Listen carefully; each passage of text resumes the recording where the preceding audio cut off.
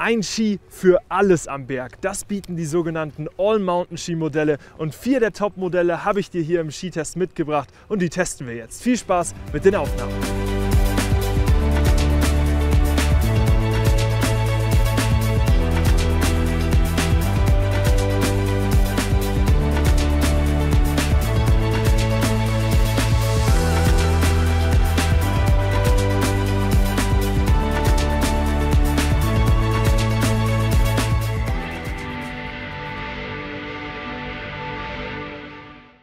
Und damit nochmal ein herzliches Servus und herzlich willkommen bei snowhow.de, dem Kanal für Skitestvideos auf YouTube.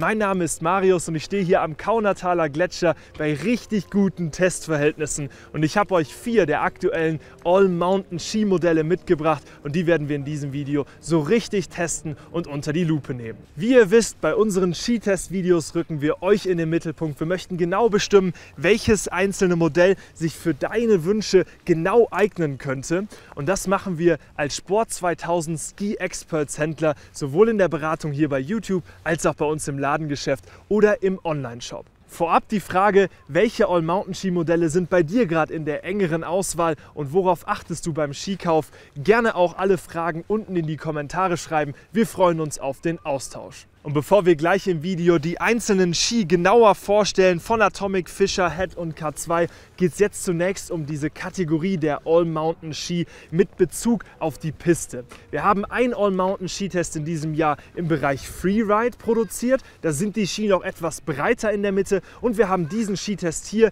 Diese All-Mountain Modelle sind schon eher noch auf der Piste zu Hause. Doch wann eignet sich ein All-Mountain Pistenmodell genau für dich und für dein Können? Genau dann, wenn wenn du auf der Suche nach einem Ski bist, mit dem du viele Facetten am Berg abdecken kannst. Auf der einen Seite mal auf der Piste unterwegs sein, dort aber vielleicht auch beim aufgeworfenen Schnee, dann bei frischem Neuschnee. Da bieten eben diese Modelle überall eine gute Performance und das macht es aus, wenn du einen Ski suchst, der die All-in-One-Lösung am Berg ist für deinen Urlaub, dann bist du bei den All-Mountain-Modellen sehr gut aufgehoben.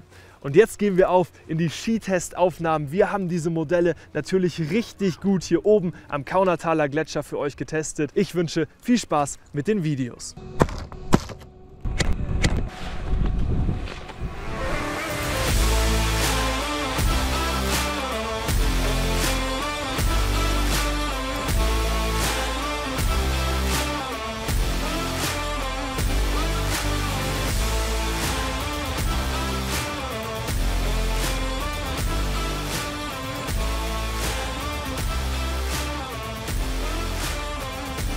Eieieiei, was für Verhältnisse hier oben. Wir hatten wirklich aufgeworfenem Schnee auf der Piste. Wir waren neben der Piste unterwegs und dann nochmal auf der glatt gebügelten Piste. Und das sind genau die Bedingungen, die diese Skimodelle so richtig lieben, nämlich wechselhaft. Und jetzt möchten wir genauer auf die einzelnen Modelle eingehen und starten darf ich dabei mit dem Atomic Redster Q9.8.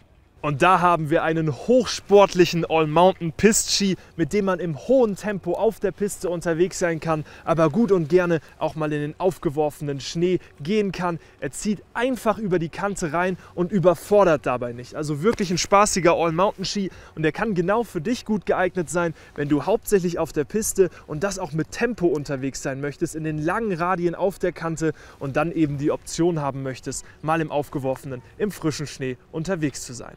Weiter geht's mit dem Fischer RC1 82 GT und dieser All-Mountain-Ski ist sehr fehlerverzeihend. Ihr habt es in den Aufnahmen gesehen, es waren immer mal wieder Hügel auf der Piste und da muss man seine Fahrtechnik anpassen und das geht mit dem 82 GT von Fischer richtig gut.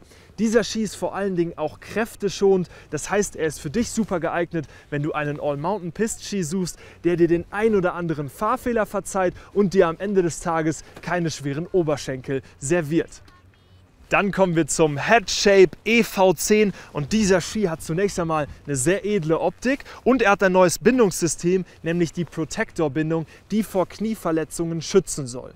Im Test zeigt er sich als sehr drehfreudiger Ski, mit dem man vor allen Dingen die kurzen Radien sportlich fahren kann. Das heißt, er ist vor allen Dingen für dich geeignet, wenn du einen All-Mountain-Ski suchst, mit dem du in den kurzen Schwüngen auf der Piste gut unterwegs sein kannst und dann auch mal im Tiefschnee die kurzen Radien durchziehen kannst. Nun, last but not least, zum K2 Disruption 82 Ti. Und ich muss sagen, das ist mal was ganz anderes aus dem Hause K2. Hier haben wir einen laufruhigen und sehr tempostabilen All-Mountain-Ski, der auf der Piste in den langen Radien zu Hause ist. Das heißt für dich, wenn du einen wirklich brettharten und tempostabilen All-Mountain-Ski suchst, mit dem du richtig Spaß auf der gebügelten Piste haben kannst, aber dann auch mal, wenn ein Tiefschnee ist, mit diesem Ski abseits fahren möchtest, dann dann eignet sich der K2 Disruption 82 Ti sehr gut für dich.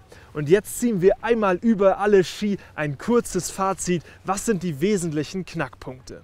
Der Atomic Redstar Q9.8 ist sportlich auf der Kante. Der Fischer RC1 82 GT ist fehlerverzeihend und drehfreudig. Der Headshape EV10 ist ein sehr drehfreudiger All-Mountain-Ski.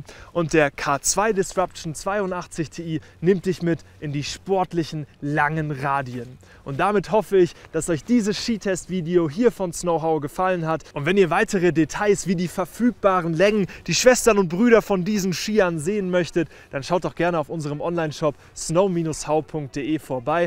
Alle Ski sind auch unten in der Beschreibung direkt verlinkt, sodass ihr euch das im Detail nochmal angucken könnt. Und jetzt freue ich mich, wenn wir uns im nächsten Skitest-Video wiedersehen, was direkt hier eingeblendet ist, das All Mountain Freeride-Video. Und ich wünsche euch eine fantastische Skisaison und bis dahin.